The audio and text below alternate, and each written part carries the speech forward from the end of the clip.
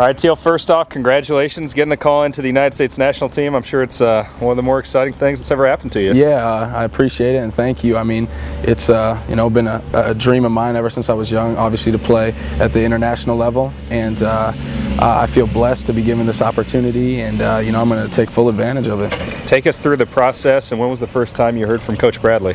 Um, I actually heard from Coach Bradley, I want to say about two months ago, and he was just letting me know that you know I was on his radar, and he really liked the way I've been uh, developing, and uh, you know it was it was during during uh, my season, obviously, so I really wasn't. Um, too preoccupied about you know uh, anything dealing with the, the national team and stuff like that. I was I was pretty focused, but uh, uh, I guess I got a call last week from from Pam Perkins actually, and just you know, she seemed really excited and got me really excited about, you know, this upcoming trip to trip to South Africa. What was the first thing you did after you found out? Did you call your dad or what'd you do? Yeah, I, I called my dad right away and, you know, he was really happy for me and, uh, yeah, it was just a, a really, a really, uh, a great time, I guess. You know, it's it's one of those few moments where I was like, wow, I, I, have actually, you know, accomplished something in a sense where I could be really proud of.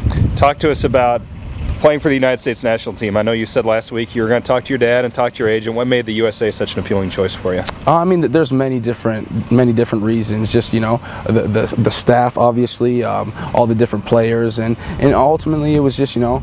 Uh, a great opportunity for me, I feel like, and you know, sitting down with my agent and, and my, my dad especially, it, it made my, I guess, uh, this this process a lot easier going to South Africa for the game where the World Cup was just held. And I know yeah. you told me you've never been there before, so yeah. uh, it's going to be exciting. What's your mentality going into this, your first national team experience? Um, obviously, my mentality is uh, I'm trying to be focused. You know, I, I, don't have a set spot. You know, this is my first camp I'm going into, so I'm not going to go in there. You know, trying to be really buddy buddy with everybody. I'm there to, you know, basically like make a difference, you know, make an impact. And uh, these opportunities don't come by very often, so I gotta gotta make the most of it, and uh, that's gonna be my mindset. Uh, very determined, and uh, you know, very very blessed. All right, best of luck. And Thank you. Again, congratulations. Appreciate it.